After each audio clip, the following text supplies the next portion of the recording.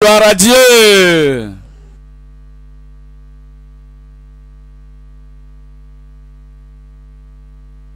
À cette étude biblique, l'école biblique.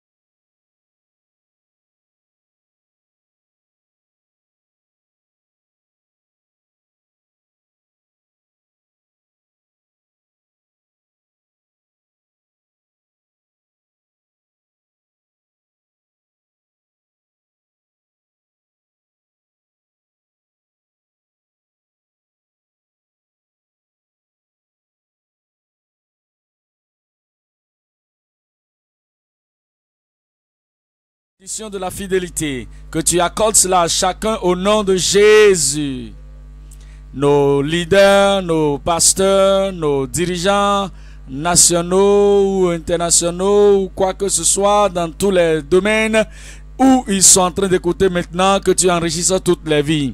Et que Seigneur, tu nous maintiennes purs jusqu'à ce jour. Nous allons passer au ciel au nom de Jésus. Nous te demandons de nous aider à faire que ton esprit nous conduise et que tu parles et que nous écoutions et que cette parole fasse, du bien dans toutes les vies. Confirme le Seigneur. Au nom de Jésus, nous prions. Le Seigneur vous bénisse pour vous asseoir. Nous venons maintenant dans Jean chapitre 2. Pour ceux d'entre vous qui venaient depuis déjà, vous allez comprendre que nous étions en train d'étudier l'évangile selon Saint Jean.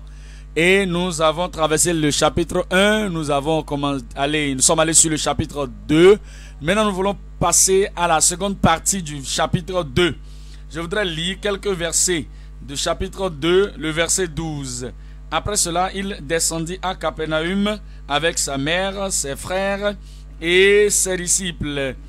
Et il, si, et ils n'y demeurèrent que peu de jours le Seigneur était dans la course.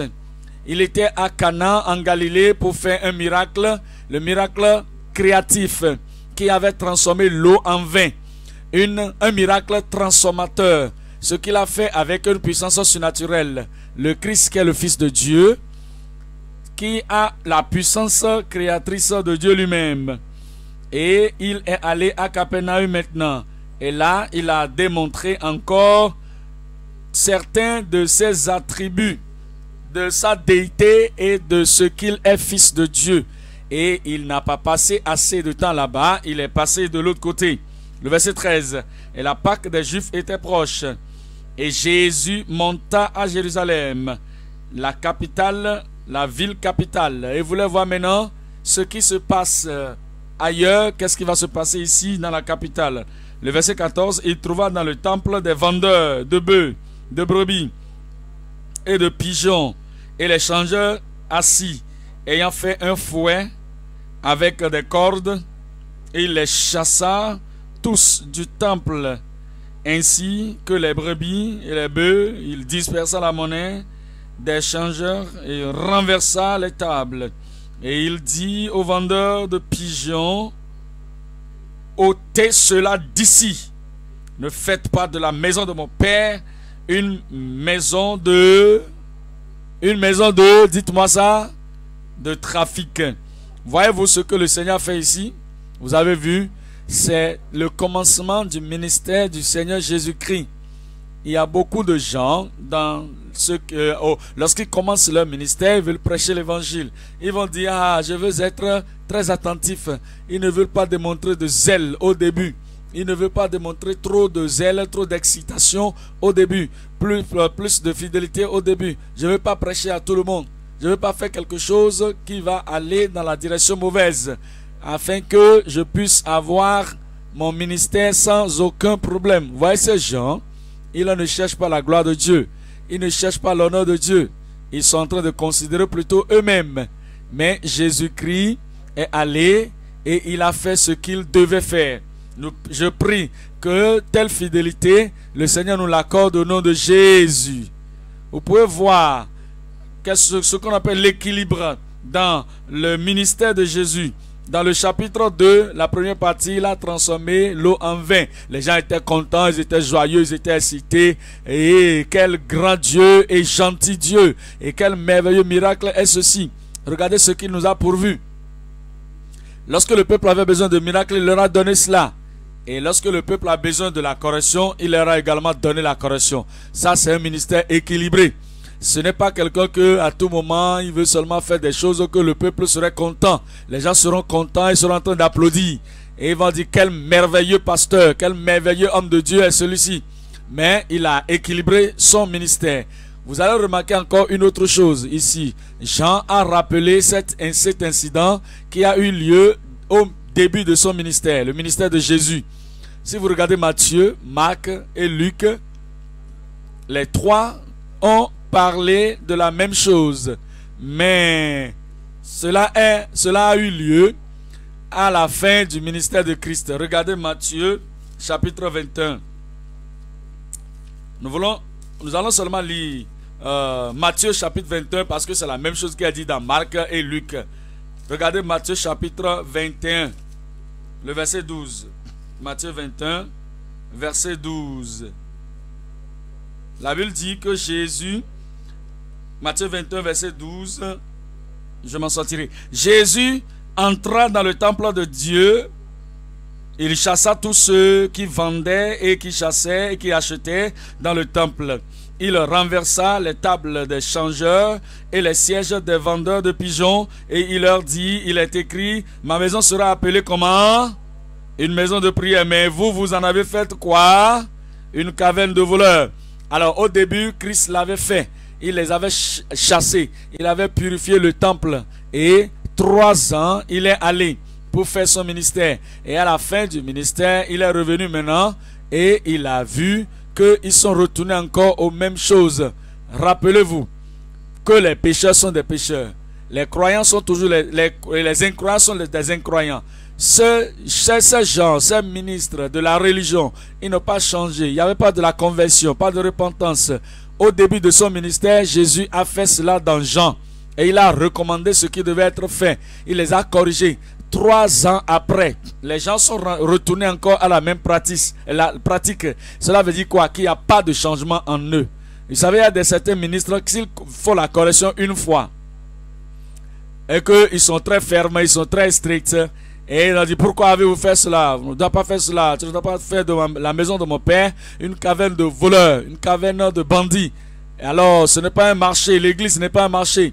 Alors, lorsqu'ils vont se tourner et que après quelques euh, semaines, la, même chose va revenir, ils vont dire, ah, moi, je ne vais pas me tuer. Oh.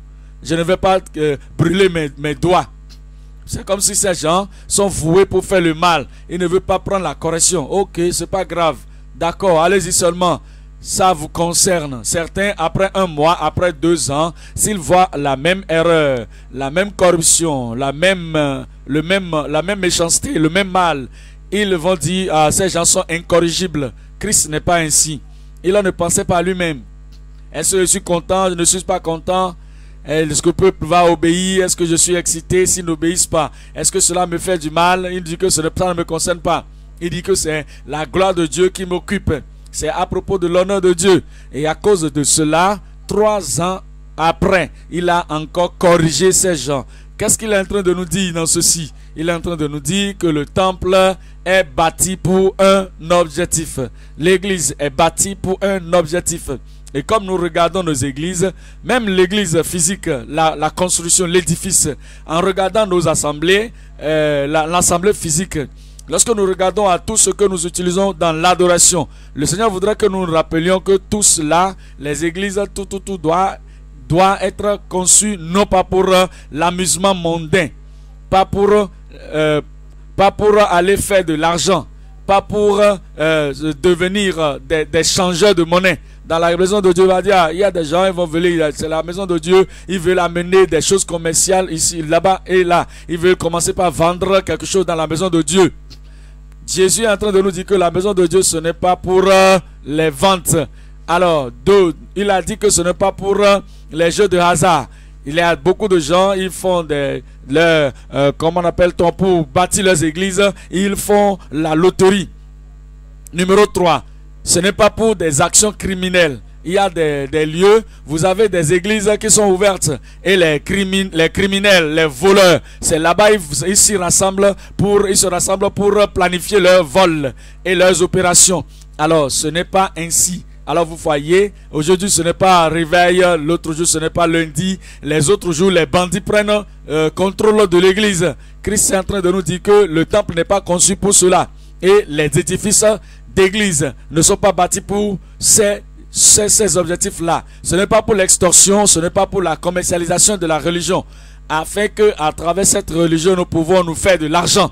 Il y a beaucoup de gens qui sont complètement voués à l'argent et l'argent a volé leurs pensées, les a emportés et ils ne peuvent pas réellement faire ce que le Seigneur les appelle à faire.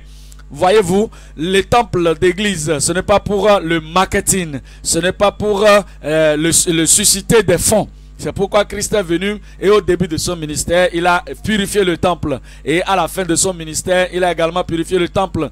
Je voudrais que vous pensiez à cela. Certaines églises et certains édifices que vous connaissez autour de vous. Et vous savez ce qu'ils font dans ces lieux-là. Si Christ devait venir aujourd'hui, comment aurait-il traité ces lieux, ces temples et ces églises, ces édifices Vous regardez Hébreu 13, le verset 8. Hébreu 13, le verset...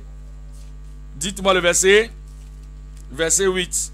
La Bible déclare que Jésus-Christ est le même hier, aujourd'hui et éternellement. D'abord, vous devez savoir que au début de son ministère, regardez ce qu'il a fait. Et à la fin de son ministère, regardez ce qu'il a encore fait. Vous allez voir la consistance. Vous allez voir la constance. Vous allez voir la consécration. Tout au long de ces trois, trois ans et demi de son ministère, il a fait les mêmes choses. Il a prêché la même chose. Il a agi de la même façon.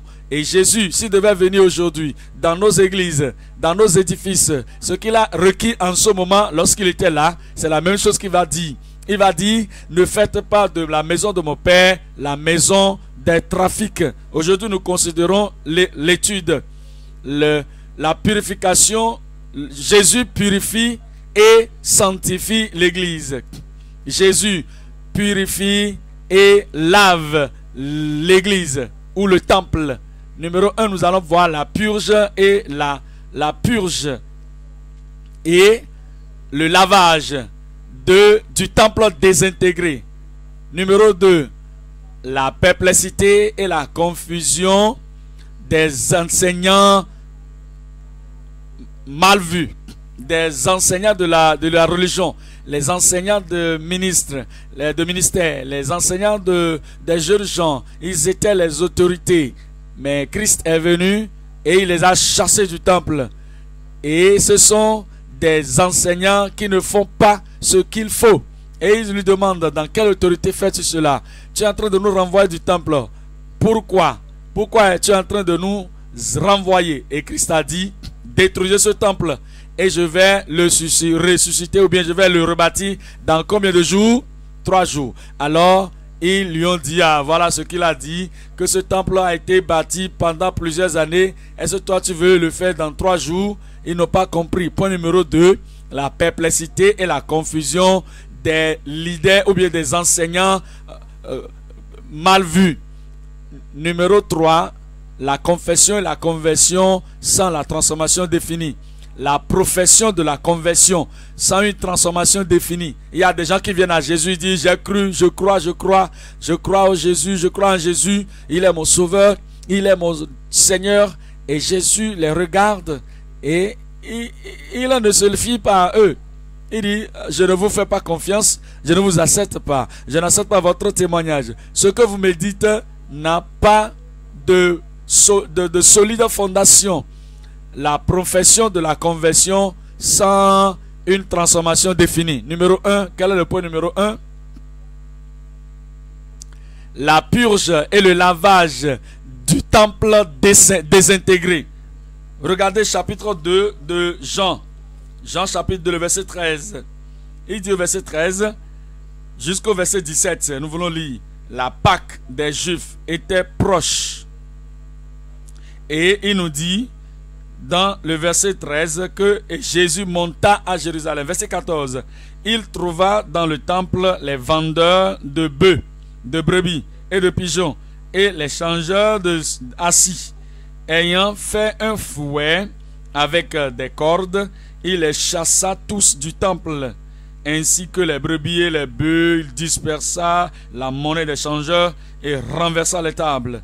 Et il dit aux vendeurs de pigeons, ôtez cela d'ici. Ne faites pas de la maison de mon père une maison de trafic. Et ses disciples se souviennent, ses disciples se souviennent, ses disciples se souviennent qu'il était écrit, le zèle de ta maison me dévore. Ça, c'est le point numéro un. La purge et, le lavage du temple désintégré. Alors, il y a trois choses que je vais faire sortir ici. Numéro un, c'est la, la mal appropriation des transgresseurs. La mal appropriation ou le mauvais appropriation de, des transgresseurs. Et il dit que la Pâque des Juifs était proche. Regardez cela correctement. Et lisez correctement. La Pâque des Juifs était proche. Attendez un instant. Est-ce que c'était déjà la Pâque des Juifs ou c'est la Pâque des la Pâque du Seigneur? Voyez-vous, le nom que vous donnez à quelque chose, ça, importe beaucoup. Ils ont changé tout. Ils ont, ils ont, il y a, il y a une mauvaise appropriation de la Pâque. Ils ont dit c'est pour nous la Pâque des Juifs et non la Pâque du Seigneur. Regardez, lorsque la Pâque était instituée, qu'est-ce que la Bible dit dans Exode chapitre 12 Exode chapitre 12, le verset 11. Exode 12, verset 11.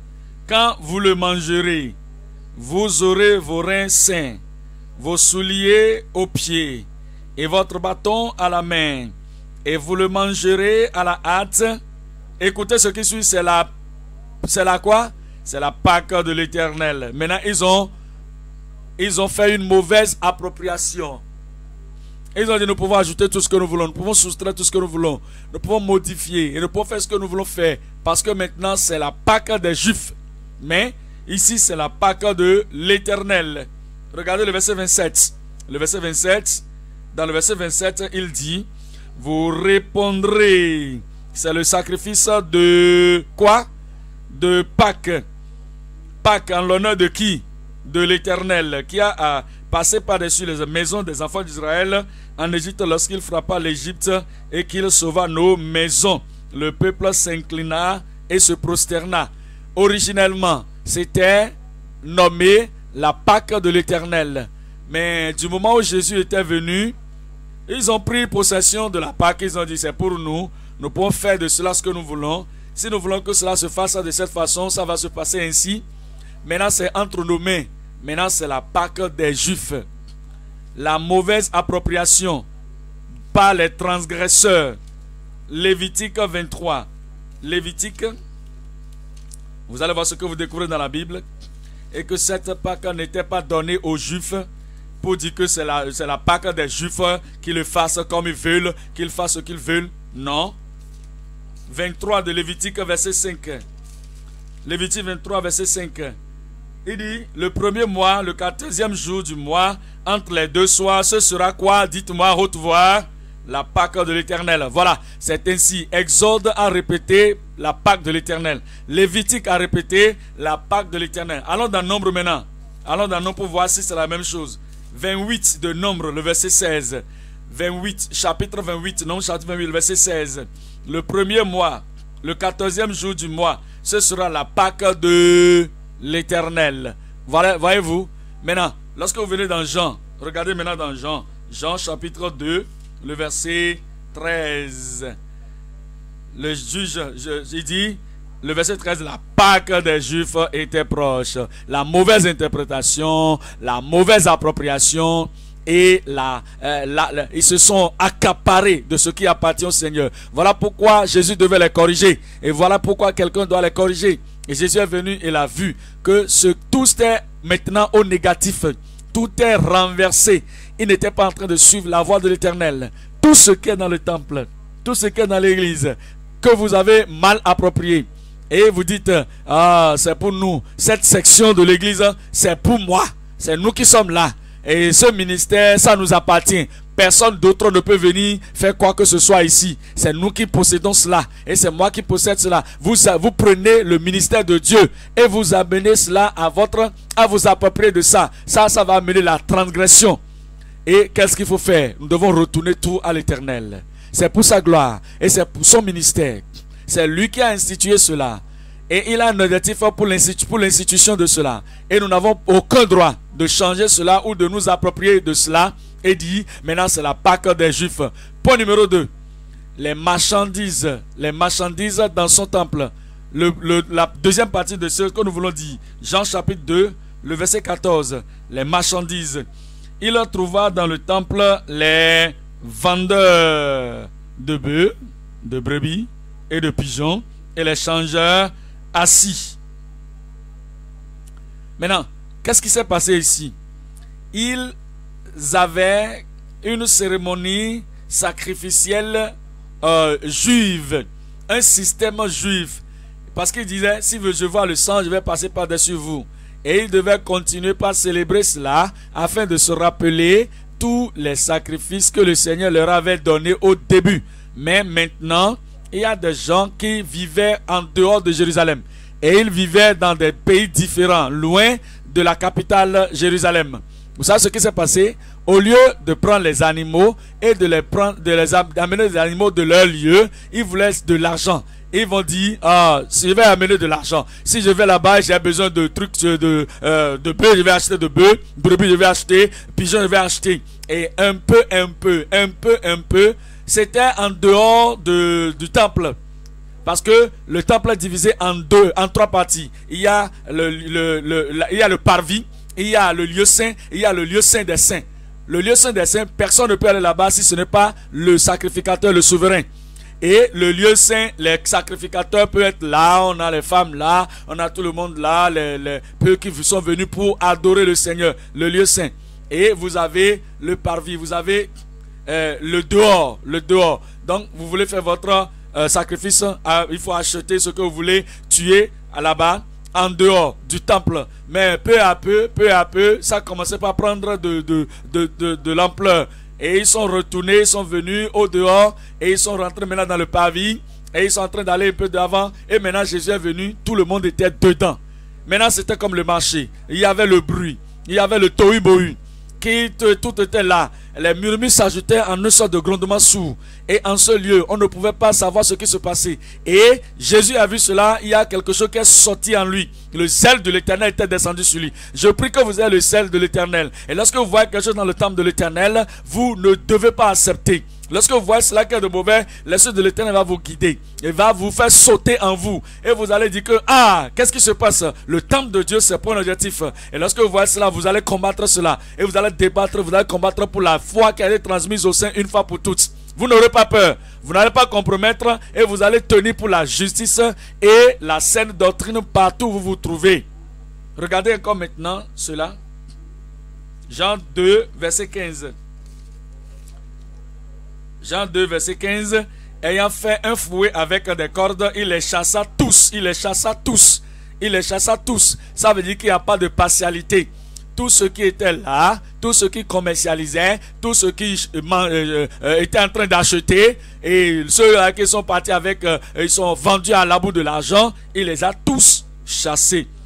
Il a chassé du temple ainsi que les brebis, les bœufs et les, dispersant la, monnaie des changeurs. Et il renversa les tables et il leur dit Vendez, les vendeurs de pigeons, ôtez cela d'ici. Ne faites pas de la maison de mon père une maison de. Dites-moi ça encore trafic, le marketing, le commercial. Rendre l'église un lieu de, de, des affaires. Hein, quelqu'un vient maintenant à l'église va dire qu'est-ce que je peux gagner maintenant? Et qu'est-ce que je peux venir vendre ici maintenant? Qu'est-ce que je peux tirer du temple maintenant Voyez-vous, Et euh, vous allez voir cela dans 2 Pierre. 2 Pierre. Le, le, le, mot trafic. Le mot trafic. Nous voulons voir le mot trafic. 1 Pierre 2. Ce que des gens font aujourd'hui et la Bible les appelle faux prophètes. La Bible les appelle des adorateurs faux. La Bible les appelle des gens charnels. La Bible les appelle les gens, les rétrogrades. La Bible les appelle les infidèles, les injustes. 2 Pierre 2. 2 Pierre 2, le verset 1. 2 Pierre 2, le verset 1. Il dit, 2 Pierre 2, le verset 1. Il y eut parmi le peuple de faux prophètes, et il y aura de même parmi vous de faux docteurs, qui introduisent des sectes pernicieuses et qui, reniant le maître qui les a rachetés, attireront sur eux quoi? Attireront sur eux, sur qui? C'est sur eux-mêmes. Une ruine soudaine. Plusieurs les suivront dans leur dissolution. dissolution. Il y a beaucoup de gens, tout ce que le prêtre fait, c'est ce que il, dit que le prêtre a toujours raison. Le pasteur a toujours raison. Tout ce que le fondateur d'église fait, c'est toujours bon. Ce que le prédicateur fait, pour eux, c'est toujours bon. Tout ce que pasteur dénominationnel ou un prêtre fait, c'est toujours ce qui est bon. Ce que le bishop fait, l'évêque, ce qu'il fait, c'est ce qui est bon pour eux. Ils ne comprennent pas que les gens peuvent dévier et ils peuvent aller loin de la parole de Dieu. Il dit que beaucoup, plusieurs les suivront dans leur dissolution et la voix de la vérité sera calomniée à cause d'eux. Verset 3. Pas cupidité. Il, il, il quoi? Répétez-moi ça. Pas cupidité ils vont trafiquer l'amour de l'argent, la cupidité, l'amour de l'argent. Ceux qui ont transformé la religion dans des boutiques de, pour faire de l'argent. Il y a des pasteurs, des prophètes ou des prophétesses. Ils se sont nommés ainsi même qui vont renverser, transformer la religion dans des lieux de faire l'argent. Il y a beaucoup de gens qui, qui sont en train de vendre la prière aujourd'hui. Si vous voulez compris pour vous, donnez de l'argent. Achetez ceci, achetez cela. Des gens ont, sont en train de transformer la prière en l'argent. Et ceux qui sont dans le temple sont en train de faire de l'argent sérieusement avec cela. Et la Bible dit que la cupidité les a amenés à faire que ils trafiqueront de vous. Et c'est exactement ce que Jésus a dit qui ne devait pas avoir lieu. Il a refusé. Et ici, il dit, au moyen de paroles trompeuses, une menace depuis longtemps. La condamnation et dans la ruine ne sommeille point. Regardez cela, un verset très important dans Apocalypse chapitre 18. Apocalypse chapitre 18, je vais lire le verset 11. Apocalypse chapitre 18 et le verset 11. Verset combien j'ai dit? Verset 11. Regardez cela. Et les marchands de la terre pleurent et sont dans le deuil à cause d'elle, parce que personne n'achète plus leur, qu'est-ce qu'elle a? Leur cargaison, ça fait marchandise.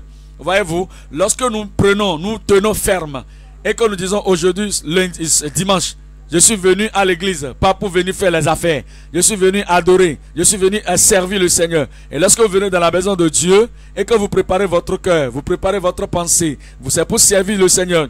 Et quelqu'un est en train de dire, hé, viens, viens, viens, s'il te plaît. Euh, je vais te donner euh, ma, carte, euh, ma carte de visite. Hein? Et après, tu vas me visiter. Ils vont transformer la carte, la, la, la, la, maison de Dieu en un lieu de marchandises. Et je t'ai donné ceci, on va parler de cela, je fais ceci, je fais cela. Et c'est là qu'ils vont commencer par faire la publicité de leur boutique ou de leurs affaires. Et c'est, là, c'est, de quoi parlent-nous Ceux qui prêchent seulement pour l'argent et ils viennent, ils vont dire, je vais parler, ils vont parler de l'argent. Et ils vont dire, donnez, donnez, et vous recevrez. Et vous allez donner, donner, vous n'allez même pas dire qu'en c'est beaucoup lieu où ils sont en train de donner, donner, les riches sont toujours riches et ou plus riches. Et les pauvres sont toujours pauvres ou plus pauvres. Et le prophète dit, donnez encore, donnez, donnez, donnez.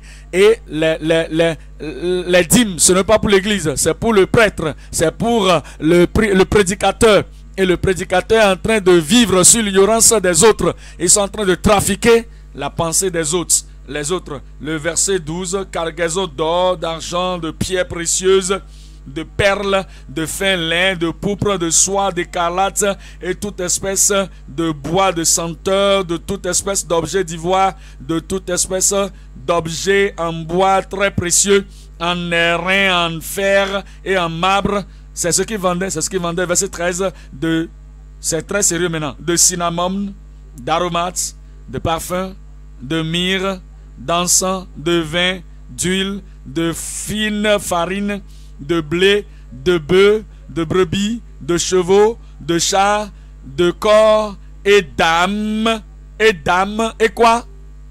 Et d'âmes d'hommes. Voyez-vous, voyez-vous? De corps et d'âmes d'hommes. Ils viennent avec les âmes des gens. Ils, se vendent, ils vendent leurs âmes. Ils s'en foutent de ce qui se passe à leurs âmes.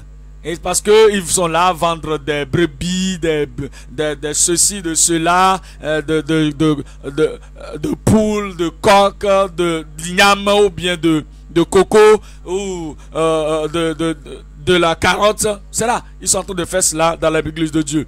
Et ils ont transformé l'église en un lieu de, en un marché, en un supermarché en un hypermarché, comme ils veulent. Et beaucoup de ceux-là qui vont le faire, ils se laissent emporter. Et avant de savoir ce qui se passe, ils se font déjà de l'argent. Peut-être euh, c'est nos sœurs dans la chorale qui sont en train de faire ceci et, et ce n'est pas un parmi eux qui est en train de faire des sacrifices.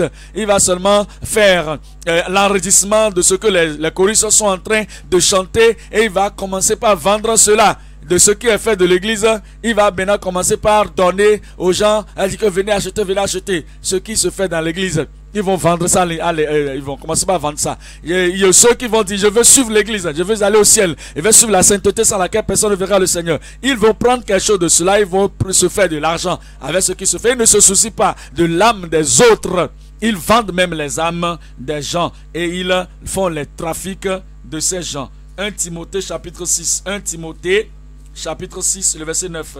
1 Timothée chapitre 6, le verset 9.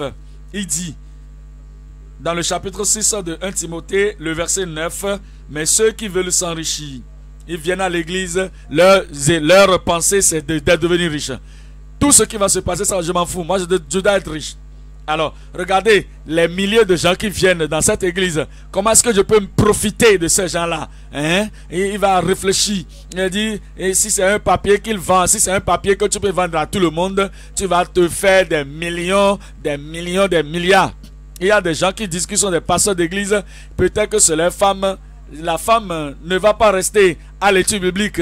Elle est au dehors. Elle est en train de vendre ceci, vendre cela et le pasteur, le mari est en train de prêcher euh, au pupitre et le mari est là-bas avec les enfants sont en train de vendre, de vendre parce que personne ne peut les arrêter, les, les, ouvriers ne peuvent pas leur parler parce que c'est le pasteur, c'est la femme du pasteur.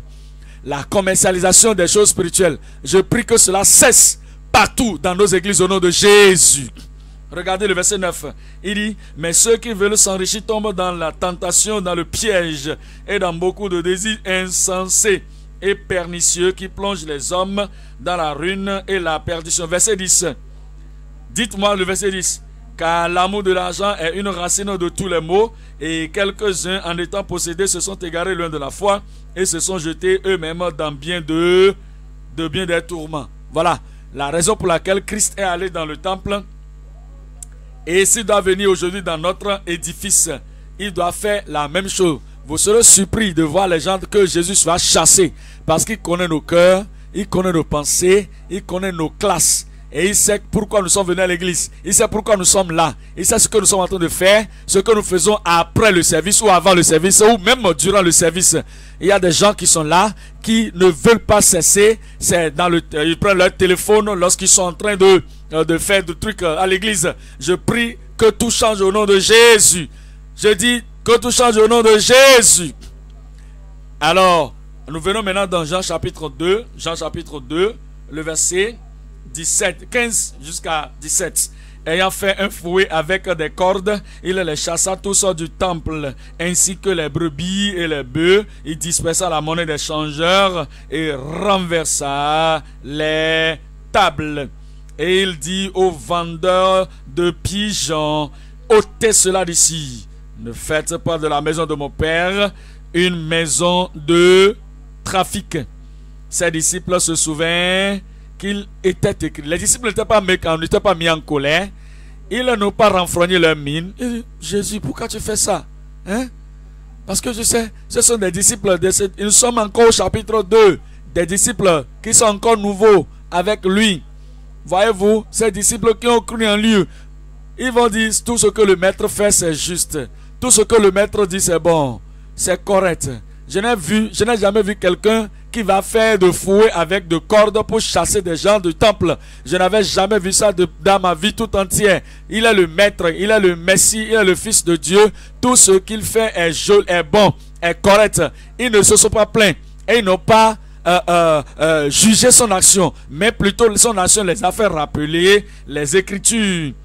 Lisons cela ensemble. 1, 2, 3, partez. Verset 17. Je ne vous entends pas, je veux vous entendre. Lisez correctement verset 17.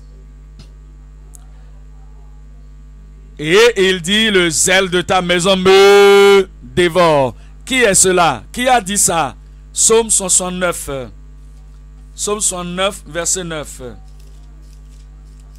Psaume 69, verset 10 à 8 secondes.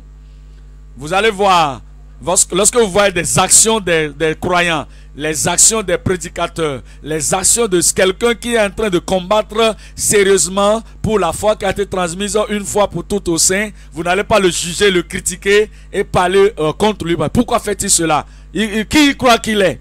Hein, Pourquoi il est en train de faire cela? Pourquoi il se prend comme ça?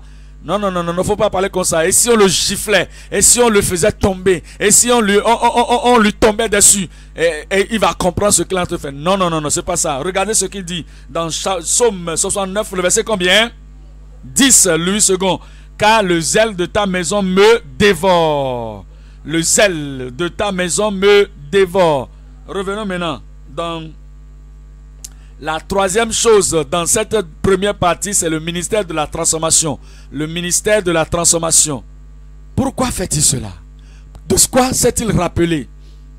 Qu'il a fait faire ceci Pourquoi? Lorsqu'il est venu et qu'il a vu les gens sont de vendre, de changer, et il a vu le, il qui était là, il a dit, ah ça là, ça ne peut pas être bon. Pourquoi a-t-il fait ce qu'il a fait? Nous allons retourner maintenant dans 1 Chronique 29. 1 Chronique 29.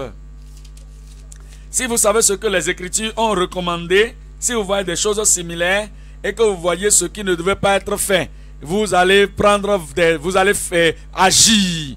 Vous allez agir immédiatement. Vous allez agir avec inspiration. Vous allez agir avec instruction avec euh, inspiration et vous allez faire des choses pour restaurer les autres. Et c'est ce que le maître doit faire, c'est ce que le leader doit faire, et c'est ce que les leaders ou les enfants de Dieu doivent faire.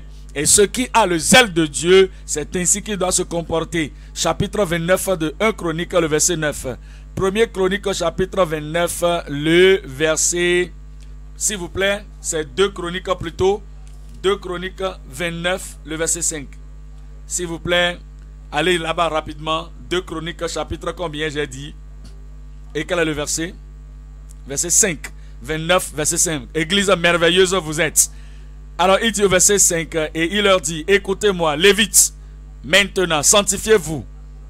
Sanctifiez la maison de l'Éternel, le Dieu de vos pères. Et, regardez ceci, mais mettez ce qui est impur hors du sanctuaire. Jésus connaissait cela, il savait cela, il connaissait la parole de Dieu. Et c'est ce que le Seigneur a commandé, que nous devons faire sortir tout ce qui est impur hors du sanctuaire, le lieu saint. Verset 15. Verset 15. Lisez avec moi. Il dit, ils réunirent leurs frères et après s'être sanctifiés, ils vinrent pour purifier la maison de l'Éternel selon l'ordre du roi et d'après, et d'après, et d'après les paroles de l'Éternel. Par la parole de l'Éternel pour venir maintenant pour purifier la maison de l'Éternel. Verset 16. Les sacrificateurs entraient dans l'intérieur de la maison de l'Éternel pour faire quoi? Pour la purifier. Et ils sortirent, ils sortirent quoi? Toutes les impuretés qu'ils trouvèrent dans le temple de l'Éternel et les mirent dans le parvis de la maison de l'Éternel où les Lévites, les Lévites, les Lévites les reçurent pour les emporter dehors au, torrent de Cédron, pour les fondre afin que tous puissent partir avec le torrent. Alors, voyez-vous, c'est ce qu'ils ont fait et que lorsque Jésus était venu, il a vu que les gens ont pollué le temple, il a vu que ce n'était pas l'original plan de l'Éternel, il les a chassés du temple. pensons un peu à ceci. Lorsque vous venez dans le Nouveau Testament, l'église physique, ça dit l'édifice doit être pur, doit être joli. Mais c'est bon, il y a quelque chose que le Seigneur nous dit dans le Nouveau Testament et il a dit que nous, nous sommes le temple de Dieu. Votre corps, c'est le temple de Dieu, le temple de Dieu. Et Christ est venu, numéro un, pour purifier le temple physique et également pour purifier le temple qui est votre corps. Regardez maintenant 2, Corinthiens chapitre 6. 2 Corinthiens chapitre 6, le verset 16, je veux lire. Et quel rapport y a-t-il entre le temple de Dieu et le temple de Dieu vivant et les idoles? Car nous sommes quoi? Le temple du Dieu vivant. Vous, vous, croyants, convertis, vous êtes maintenant enfants de Dieu et vous êtes le temple du Dieu vivant. Comme Dieu l'a dit, j'habiterai et je marcherai au milieu d'eux. Je serai leur Dieu, seront mon peuple. Verset 17. C'est pourquoi sortez du milieu d'eux et séparez-vous, dit le Seigneur, et ne touchez pas à ce qui est impur. Et je vous recevrai, je vous accueillerai, vous serez pour moi, euh, je vous serai pour vous un père, et vous serez pour moi un fils, des fils et des filles, dit le Seigneur Tout-Puissant. Voyez-vous maintenant, vous êtes le temple du Dieu vivant. Et il ne voudrait pas que quelque chose d'impur quelque chose de souillé soit retrouvé dans votre vie qui est le temple de son Dieu. Alors, c'est pourquoi nous parlons du ministère de la transformation. Qu'est-ce qu'il fait? Il nous rend purs, il nous rend saints. Regardez Lévitique chapitre 20. Lévitique chapitre 20, le verset 7 et le verset 8. Regardez ce qu'il veut faire. Et il veut le faire afin que votre temple, le temple de votre corps soit pur, soit lavé, soit saint, dans Lévitique chapitre 20, verset 7. Vous vous sanctifierez et vous serez, dites-moi, saint, car je suis l'Éternel votre Dieu. Vous observerez mes lois et vous mettrez en pratique, et vous les mettrez en pratique, je suis l'Éternel qui vous sanctifie. Il vous regarde comme un temple. Et s'il y a des choses de souillure, des choses euh, qui, rendent euh, le temple souillé, et vous dites, ah, je suis croyant, je suis enfant de Dieu. Non, non, non. Il prend le sang le, de l'agneau et il vous lave, il vous purge. Et vous regardez maintenant, tout est pur autour de vous ou sur vous. Vous êtes le temple de l'éternel. Psaume 93, le verset 5. Psaume 93, le verset 3. Il dit, Ton, euh, ton trône est établi, verset 2, ton trône est établi dès le temps ancien, tu existes de toute éternité. Alors, nous voyons que le Seigneur demande que nous puissions euh, avoir euh, cette sainteté dans notre vie. Le verset 5, Louis second, tes témoignages sont entièrement véritables, la sainteté convient à ta maison. Voilà ce qu'il a dit, nous devons être purs pour le Seigneur. Et ce qu'il a fait, et ce qu'il veut faire, il veut que le temple soit pur, que le temple soit saint, que le temple soit juste. Dans Romains chapitre 6, le verset 22. Verset 22, la Bible dit, mais, maintenant, étant affranchi du péché, quelqu'un a fait cela pour nous. Son nom c'est Jésus. Il est le propice, l'agneau propitiatoire. C'est lui qui est venu pour purifier le temple. Et il est venu pour purifier le temple de notre corps. Et il dit, mais maintenant étant affranchi du péché et devenu esclave de Dieu, vous avez pour fruit la sainteté. Vous avez pour fruit la quoi? La sainteté et pour la fin la vie éternelle. La vie éternelle. Vous avez le fruit pour la sainteté. Il nous dit dans 1 Corinthiens 3. 1 Corinthiens chapitre 3, le verset 16. 1 Corinthiens 3, le verset 16. Ne savez-vous pas, ne savez-vous pas que vous êtes le temple de Dieu et que l'Esprit de Dieu habite en vous? Ne savez-vous pas? N'êtes-vous pas au courant que vous êtes le temple de Dieu? Si vous êtes né de nouveau et que l'Esprit de Dieu demeure en vous Si quelqu'un détruit le temple de Dieu, Dieu le détruira. Car le temple de Dieu est saint et c'est ce que vous êtes. Le temple de Dieu est saint et c'est ce que vous êtes. Et si quelqu'un va se lever pour dire, ah, je m'en fous, je, ça, ce n'est pas mon problème, je suis seulement venu à l'église, je vais venir, venir seulement. C'est pour que vous soyez pur. Si vous venez, c'est pour que vous soyez juste, converti, et que votre vie soit complètement nouvelle. Et il dit que si quelqu'un détruit son temple, détruit ou souille ce temple, Dieu le détruira aussi. 1 Corinthiens 6, verset 19. Verset 19. Car,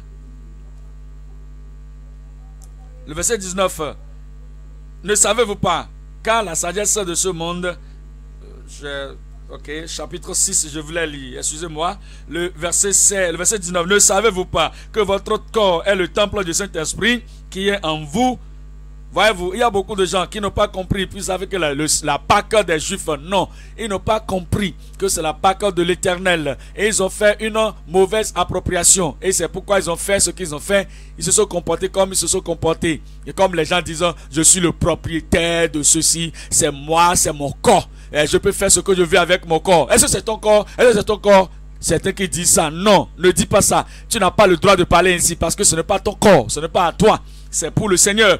Le verset 20, car vous avez été rachetés à un grand prix. Glorifiez donc Dieu dans votre corps et dans votre esprit qui appartiennent à Dieu. Tout appartient à Dieu. Regardez maintenant, Ephésiens chapitre 2. Nous parlons du temple, le temple de Dieu, le temple du Saint Dieu. Ephésiens chapitre 2.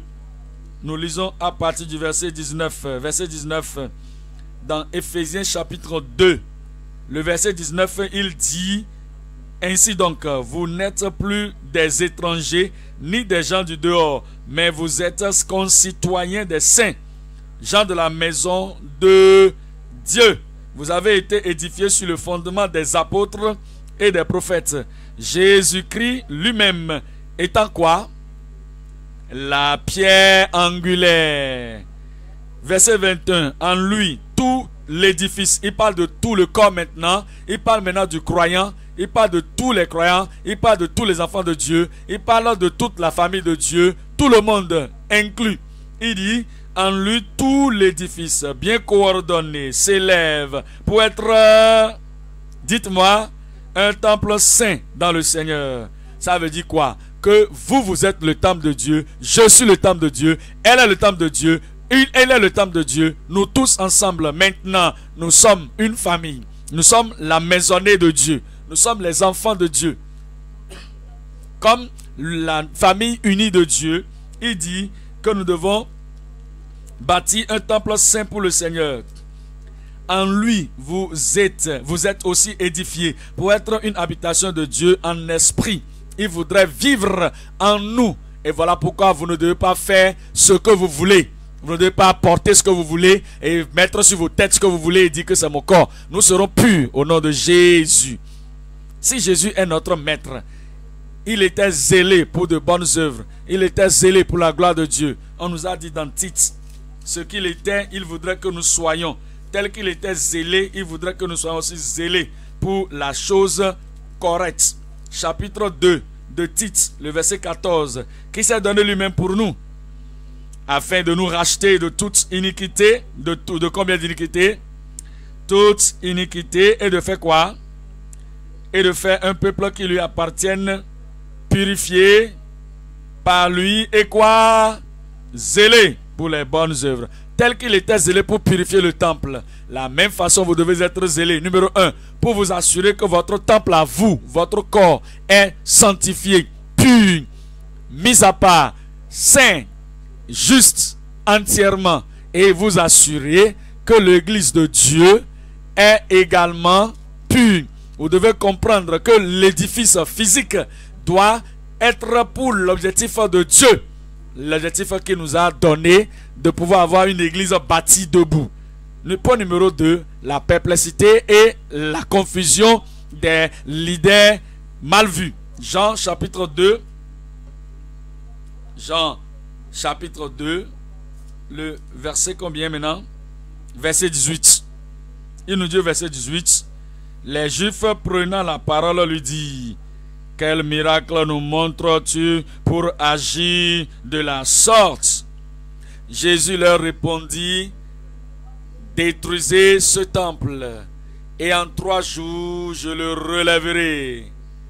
Les Juifs dirent, il a fallu 46 ans pour bâtir ce temple. Et toi, en trois jours, tu le relèveras.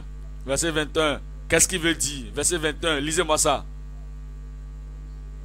mais il parlait du temple de son corps. Voyez-vous, il leur a dit, quel signe voulez voir? Comment peut voir? Seulement, il peut venir seulement, nous tous, nous, sommes, nous étions de faire ceci depuis longtemps. Nous étions dans ce temple-là depuis longtemps. Et nous vendions des, brebis, des bœufs, des, pigeons. Et personne ne nous a jamais défiés. Et toi, tu viens d'arriver. Et tu as commencé ton ministère. Et tu viens maintenant nous chasser de ce temple. Ah ah, qu'est-ce que penses-tu que tu as? Es-tu plus, plus que nous?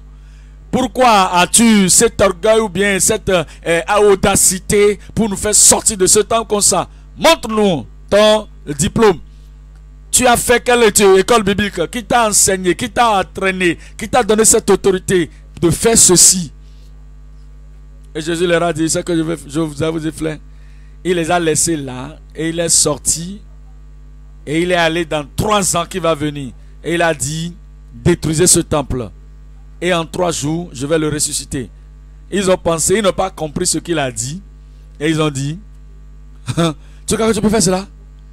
46 ans, cela il a fallu oh, pour que ce temple-là soit bâti. Et toi, tu veux dire maintenant que tu vas le détruire en trois jours. Tu vas détruire et construire en trois jours. Ce qu'on a fait en 46 ans. Ah, et la Bible dit que il ne parlait pas de ce qu'ils ont dit. Et donne-moi de l'eau à boire. Pourquoi est-ce que tu me donnes de l'eau? Tu me demandes de l'eau à boire.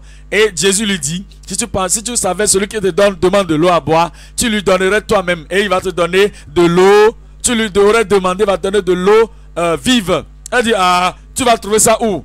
Tu n'as pas de seau et tu n'as pas de... Comment tu vas puiser l'eau?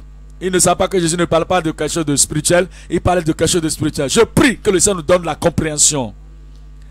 Je dis que le Seigneur, je vais faire de ça personnellement, que le Seigneur vous donne, toi personnellement, qu'il vous donne la compréhension au nom de Jésus. Regardez cela maintenant. Le problème avec les chrétiens charnels ou le raisonnement charnel. Il leur a dit quelque chose de spirituel, de prophétique, à propos de sa mort, à propos de sa crucifixion, à propos de sa résurrection. Il leur a parlé ainsi, ils ont, ils ont traduit cela, ils ont interprété cela dans quelque chose de physique. Regardez Matthieu chapitre 12. Matthieu 12, 38. Matthieu 12. Le verset 38. Matthieu chapitre 12 le verset 38. Le verset 38 dit, alors quelques-uns des scribes et des pharisiens prirent la parole et dit, Maître, nous voudrions te voir faire un miracle. Ils ont toujours vu, ils ont toujours voulu voir des miracles. Il leur répondit, une génération méchante et adultère demande un miracle. Il ne lui sera donné d'autre miracle que celui du prophète Jonas. Car de même que Jonas fut combien de jours trois jours et trois nuits dans le ventre d'un grand poisson. De même, le Fils de l'homme sera trois jours et trois nuits dans le sein de la terre. La même chose. Ils ont dit, ah, quel signe as-tu pour nous montrer? Que veux-tu nous dire? Détruisez ce temple et je vais ressusciter cela dans trois jours. Il parle de son corps. En ce moment, ah, ici maintenant, ils sont demandés, quel signe tu nous montres? Vous vous rappelez-vous de Jonas? Il a été jeté dans, le, dans la mer et le poisson l'a avalé. Il est resté là trois jours, trois nuits. La même chose va arriver au Fils de l'homme. Il est en train de leur parler, se référant toujours à ce qui va se passer. Vous allez me tuer. Mais c'est un point négatif. C'est un point négatif. L'agneau qui ôte le péché du monde, il sera crucifié. Et le troisième jour, je me relèverai. Vous avez vu, ils n'ont pas compris. Regardez, Matthieu chapitre 26 ils ont prétendu comme euh, qu'est-ce qu'il est en train de dire, euh, qu'est-ce qu'ils sont en train de raconter, qu'est-ce qu'il est en train de raconter. Verset 59 de chapitre 26. Matthieu combien? Dites-moi 26 59. La Bible déclare que les principaux sacrificateurs, tous les Sanhédrins cherchaient quelques faux euh, témoignages contre Jésus suffisants pour le faire mourir, mais ils n'en trouvaient point quoique plusieurs faux témoins se furent présentés au enfin il en vint combien? Combien de? Deux. Qui dit quoi? Celui-ci a dit je puis détruire le temple de Dieu et le rebâtir en. Mais est-ce ce qu'il a dit? Est-ce ce qu'il a dit? Il n'a pas dit ça. Il n'a pas dit que je vais détruire. Mais il a dit, vous détruisez le temple. Il n'a pas dit que lui va détruire. Ils ont mal cité Jésus. Et vous voyez des gens qui veulent mettre d'autres personnes dans, euh, de problèmes. Ils vont, dire le contraire de ce que vous avez dit. Et ils vont vous emballer seulement. Et vous mentir sur votre compte. Jésus n'a pas dit ça. Ils ont dit que celui-ci a dit, je puis détruire le temple de Dieu et le rebâtir en trois jours. Mais vous savez, ils étaient en train, ils, sont, ils étaient tous des, prétendeurs, des, des, ils étaient de prétendre, des prétentieux. Alors, regardez, chapitre 27 de Matthieu, le verset combien maintenant? Le verset 39. Le verset 39. Il dit les passages l'injuriaient et secouaient la tête en disant, toi qui détruis le temple, voyez-vous cela? Voyez-vous cela? Ils ont mal compris. Ils n'ont pas bien cité Jésus. Il n'a pas dit qu'il allait détruire le temple. Est-ce que Jésus a dit qu'il allait détruire le temple? Répondez-moi, je vous pose la question. Est-ce qu'il a dit ça? Alors, maintenant voyez-vous, il a dit, toi qui détruis le temple et qui le rebâtis en trois jours, sauve-toi toi-même si tu es le Fils de Dieu, descends de la croix. Nous allons venir maintenant à la session suivante. Et ça, ça c'est la prophétie, les prophéties de la résurrection de Christ. Les prophéties de la résurrection de Christ. En réalité, ce qu'il a dit, c'est qu'ils allaient, ils allaient le tuer. Ils vont se libérer de lui. Mais en trois jours, il va se relever. Regardez comment il a eu, il a pris cela, il a dit cela, il a répété cela à ses disciples à plusieurs reprises. Matthieu 16, le verset 21, Matthieu 16, verset 21. Dès lors, Jésus commença à faire connaître à ses disciples qu'il fallait qu'il allât à Jérusalem, qu'il souffrit beaucoup de la part des anciens, des principaux sacrificateurs et des scribes, qu'il fut mis à mort, lisez-moi le reste, et qu'il ressuscita le troisième jour. Il leur a déjà dit ça au début. Et il devrait comprendre. Il n'a pas dit qu'il allait détruire le temple. Il a dit, vous, détruisez le temple. Ah, après tout, il a fait de nous le temple de Dieu. Il nous appelle le temple de Dieu. Et lui aussi, il se réfère à lui-même comme le temple.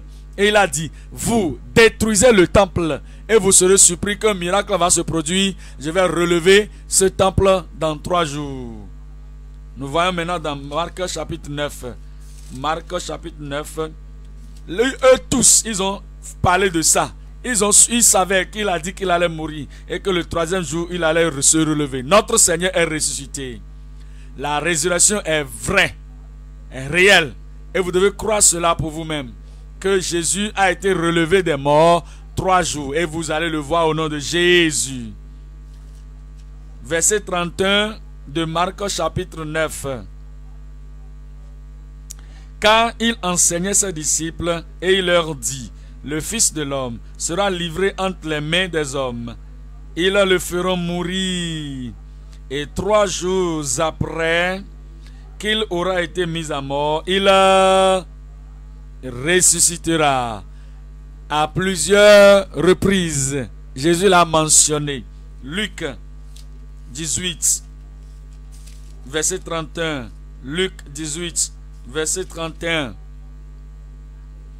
Jésus prit les douze après, auprès de lui et il leur dit, Voici nous montons à Jérusalem et tout ce qui a été écrit par les prophètes au sujet du Fils de l'homme s'accomplira, car il sera livré aux païens.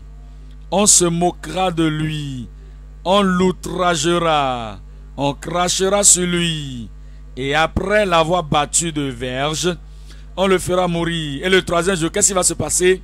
Il ressuscitera, il ressuscitera. Alors, il leur a dit cela à maintes reprises. Quelle est la raison de cette crucifixion? Quelle est la raison de, cet ensevelissement Et quelle est la raison de la résurrection? 1 Corinthiens chapitre 15, verset 3. 1 Corinthiens chapitre 15, le verset 3. Je vous ai enseigné avant tout comme je l'avais aussi reçu que Jésus est mort, pourquoi? Pour nos péchés. Selon les Écritures, qu'il a été enseveli et qu'il est ressuscité le troisième jour, selon les Écritures. Revenez maintenant dans Jean chapitre 2.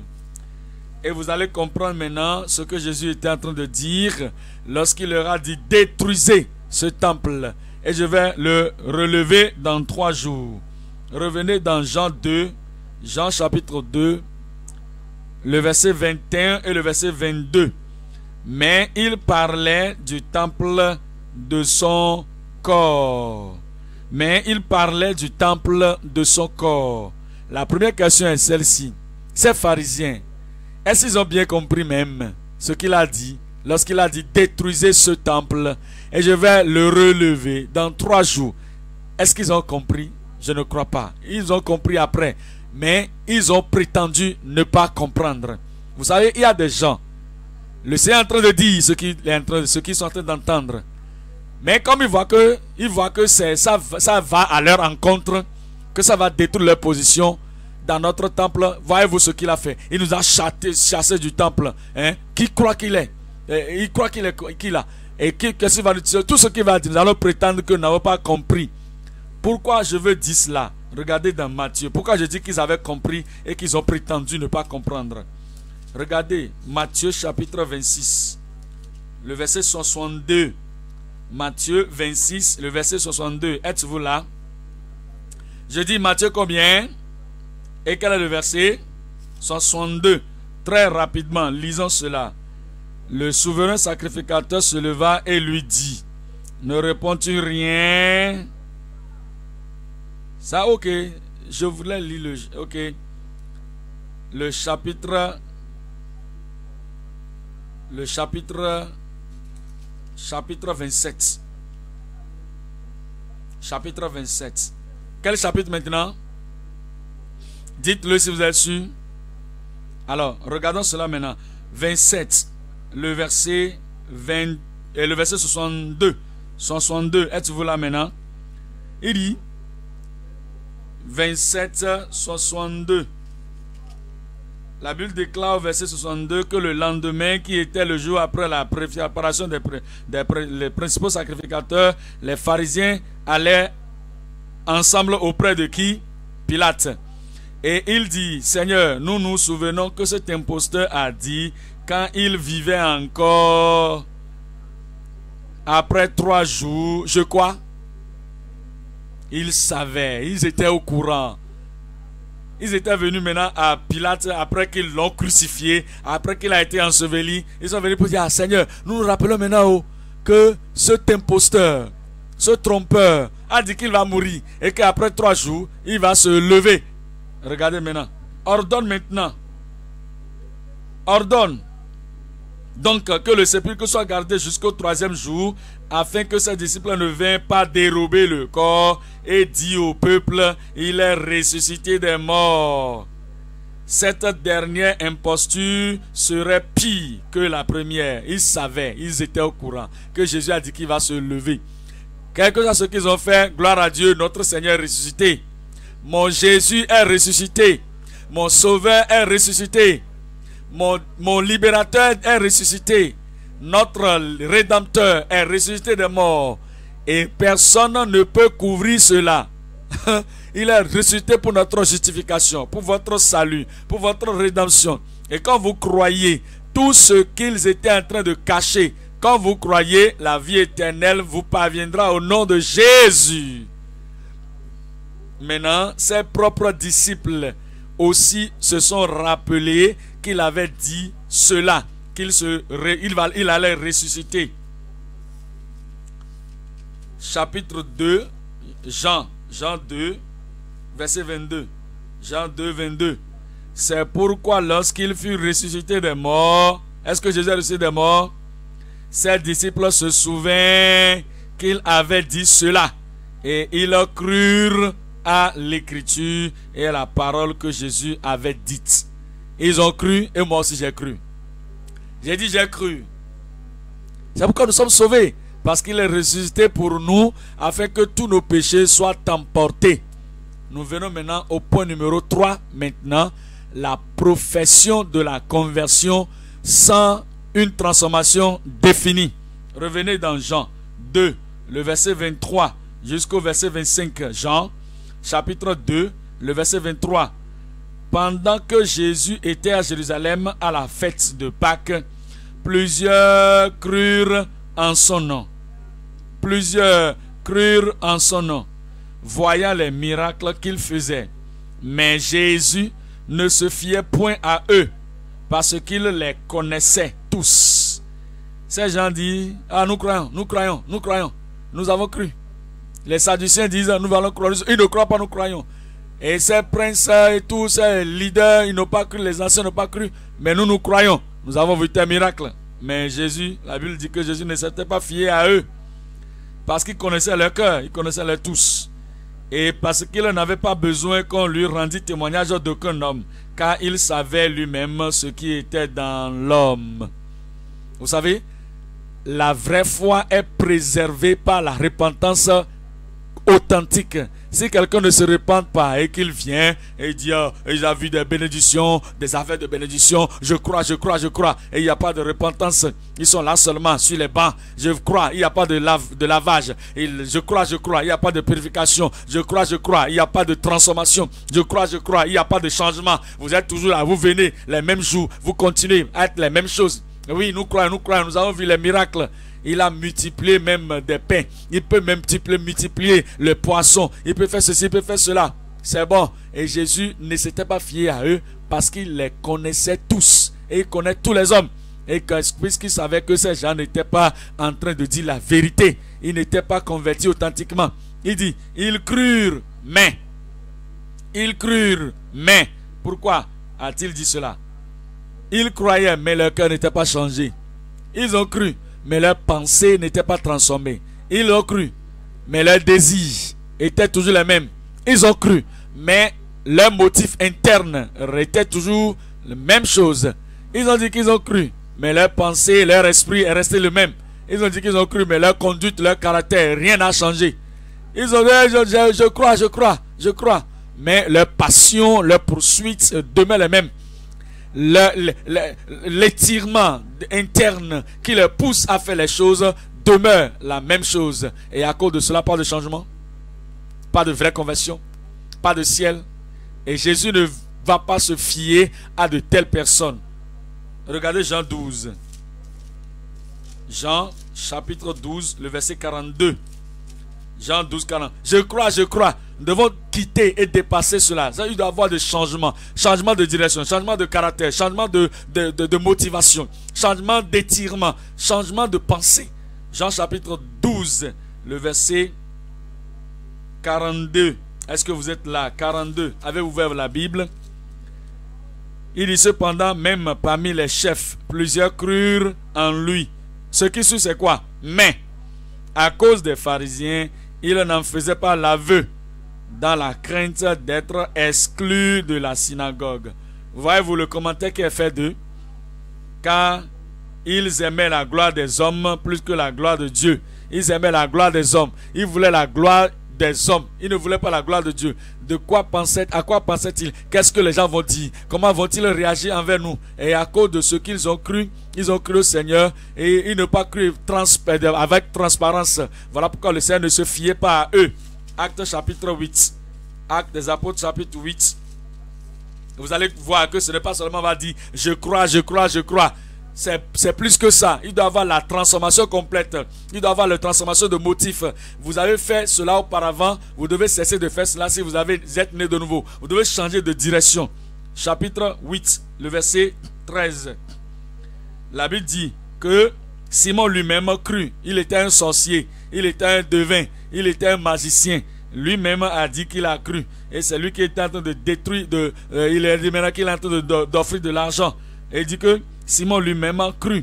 Et après avoir été baptisé, il ne quittait plus Philippe et il voyait avec étonnement les miracles, les grands prodiges qui s'opéraient.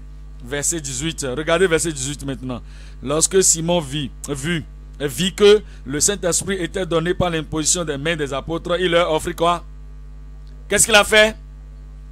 Vous voyez?